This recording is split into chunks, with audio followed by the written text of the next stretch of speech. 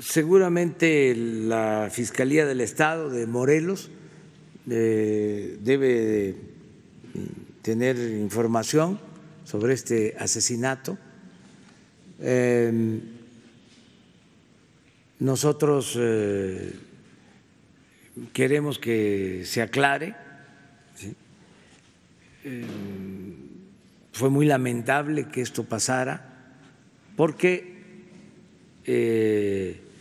le sirvió a los oportunistas, mm, a los que están buscando cómo culparnos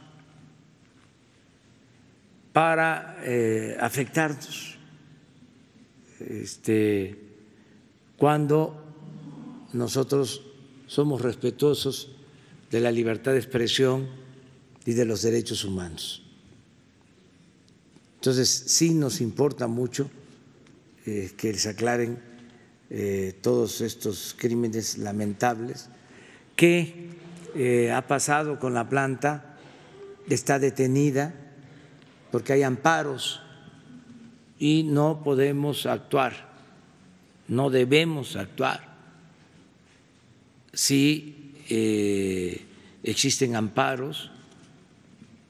Nosotros también lamentamos que se haya construido esta planta con el gasoducto que se llevó a cabo en los gobiernos anteriores. Ya nos toca a nosotros este, eh, recibir esa planta terminada. Estoy hablando de una inversión de más de 20 mil millones de pesos, dinero del presupuesto, dinero del pueblo, que no se puede eh, operar